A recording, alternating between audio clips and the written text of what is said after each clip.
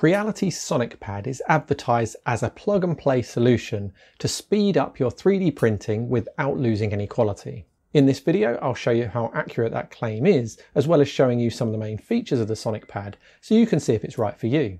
I was sent this Sonic Pad by Geekbuying as they wanted to see what I thought of it, but like all of my review videos, I'm under zero obligation on content. This means that I'll show you any faults along with any positive aspects. If by the end of this review you think you might want to buy one of these, then as one of my viewers, you have access to a special discount code that you can find in the description below. The Sonic Pad is delivered in a very smart box and is packaged in a way that makes you feel like you're unboxing a new smartphone or iPad. It has a 7 inch touchscreen that takes up the whole of the front surface and has multiple ports on the side and back. Four of the ports are USB, two on the back and two on the side. In addition, there's also power, ethernet and sensor ports, as well as flip out stands on the back.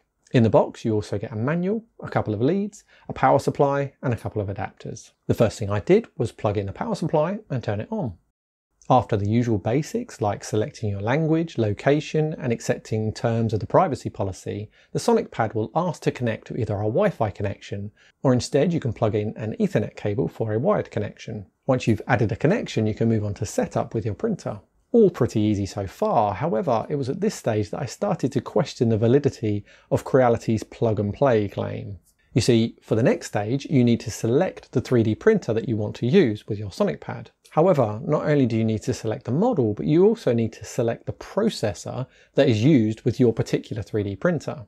The only way to do this is to gain access to the control board, find the processor, and then read what's written on it as well as the control board itself. Only then, once you've put everything back together, can you progress onto the next stage of setup. To me, plug and play is literally plugging something in and it's ready to use. By that definition, the Sonic Pad is not plug and play. What the setup process is though is pretty well explained in the manual.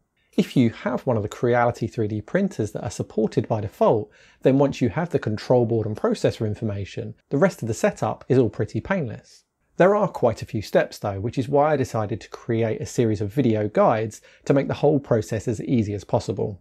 You can find the playlist for those videos in the description below if you want help setting up your Sonic Pad. If you have one of the few Creality models that isn't supported, it doesn't mean that you can't use the Sonic Pad with your printer, just that you'll have to jump through a few hoops to get it all working. The same is true if you have a non-Creality printer. That's right, the Sonic Pad can be used to control non-Creality printers as well. The setup process is just a little bit more involved, and there wasn't a lot of information out there, so I had to figure a lot out for myself. Again, I cover all of this in my Sonic Pad series, so check out those videos if you want to see how involved setting the Sonic Pad up with your machine might actually be. The reason that the Sonic Pad can be used with all different 3D printers is that it runs open source firmware called Klipper. Reading directly from the Klipper GitHub page, Klipper is 3D printer firmware. It combines the power of a general purpose computer with one or more microcontrollers.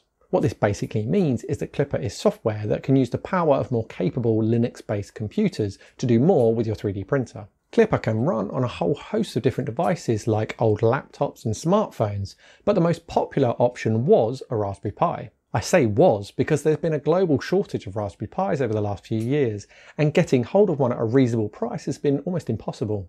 Even if you could get hold of one, the programming involved with setting up a Raspberry Pi to run Klipper and then getting it all working with your 3D printer can seem quite daunting. And for many, it can lead to a lot of frustration. What Creality have done is take a Raspberry Pi style device and a touchscreen and wrapped it all up in a neat package. They've then done all of the initial work to have Klipper set up and ready to connect to a 3D printer. The only part that you need to do is install new firmware to your 3D printer, which the Sonic Pad compiles for you. That's right, to use the Sonic Pad, you need to overwrite your 3D printer's firmware.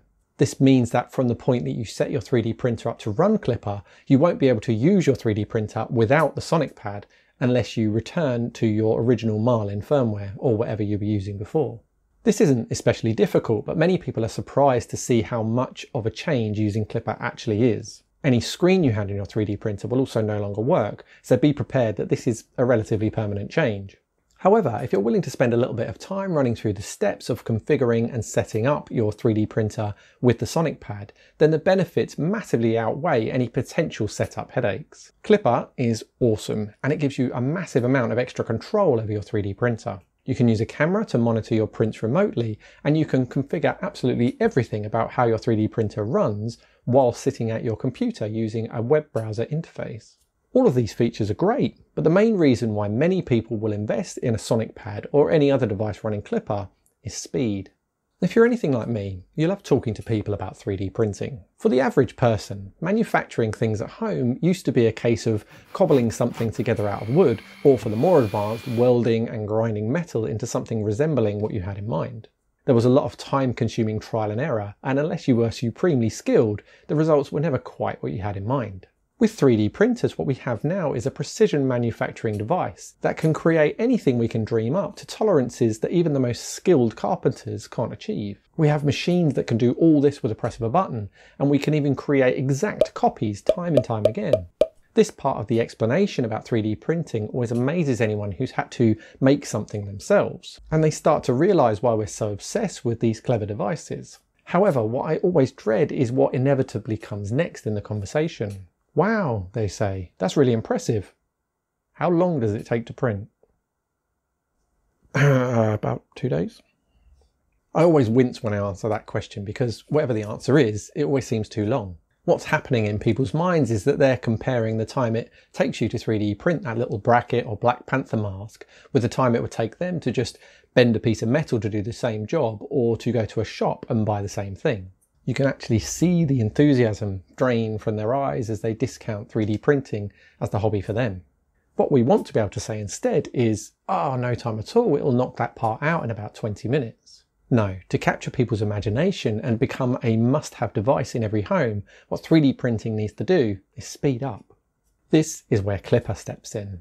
With the extra processing power something like a Raspberry Pi or Sonic Pad can supply, Klipper is able to push your 3D printing speeds way higher without inducing all of the negative artifacts that you'll get if you just try to crank the speed up on standard Marlin based firmware. To really maximise what Klipper can do, there are a number of parameters that need to be finely tuned, but once done, it can be quite common to reduce print speeds down to about a quarter of the time they would have taken before on a stock machine. Seeing a well-tuned Klipper-controlled machine is pretty mind-blowing when you've been used to printing things at a snail's pace. Finally, we can stop dreading that how fast does it go mister question as we have an impressive answer waiting. So back to the Sonic Pad. As you may have picked up, you can get most of the benefits of running Klipper on a less expensive device. However, I'd only advise going down that route if you already have some experience of Linux or feel confident that you can follow all of the steps involved. You not only have to find a compatible device, screen and power supply for each, but you also have to install a Linux-based operating system and then compile a load of parameters to get up and running.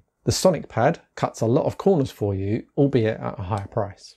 When it first went on sale, the Sonic Pad was pretty locked down, and Creality had restricted root access, which frustrated a lot of advanced users. However, it seems that they've been listening to the community because subsequent updates have opened things up quite a bit, as well as added new machines to the supported list. It's not quite the plug and play solution that Creality are advertising it as, but by following a series of guides like the one I made in my Sonic Pad Basics series, you could be up and running with fast prints within a few hours of receiving your new Sonic Pad. Assuming you already have a 3D printer, the only other thing you might want to consider buying is a camera so that you can view things from afar and record time-lapse videos. You're not limited to controlling only one printer with a Sonic Pad either. You can control as many printers as you have spare USB ports and can easily switch between them at any time. There are lots of other features that the Sonic Pad has, but mostly these are Klipper features. It would take too long to run through all of the available Klipper features, but what I can do is tell you what the Sonic Pad does well and not so well.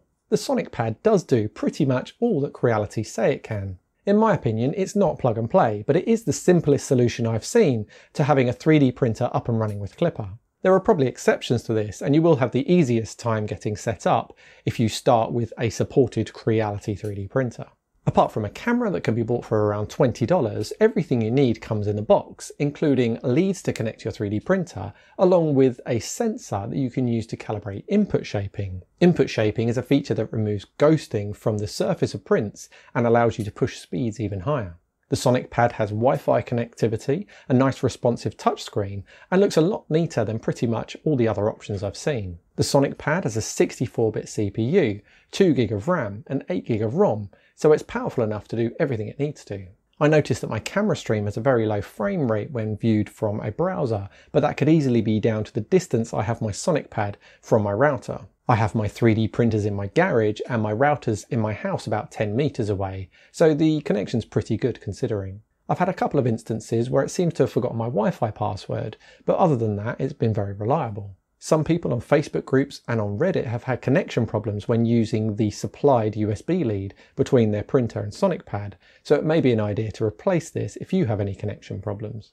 Some of the other things you can do with the Sonic Pad are setting macros, so you can initiate more than one command with a single button press. You can preview what your model will look like before printing it, and you can access everything from a computer or smartphone if you're on the same network. There's currently no easy way that I know of to access your Sonic Pad when you're not on the same network as it.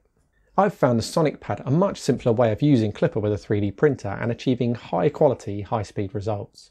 It is more expensive, but in return, the world of Klipper firmware has now been opened up to those of us who don't have the time or desire to learn about Linux based operating systems and bespoke setups. Also, since its release, the features have been improved through firmware updates and the price has come down.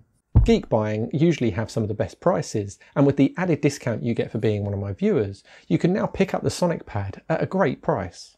I think that running Klipper is one of the best upgrades you can make to a 3D printer, and the Sonic Pad now gives us mortal folk access to all of the benefits without all of the research.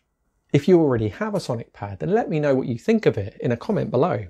If you want to jump straight into the first video in my Sonic Pad Basics series, then click here. Or if you want to make sure that you can find the videos again when your Sonic Pad does arrive, then make sure you subscribe. Thanks for watching.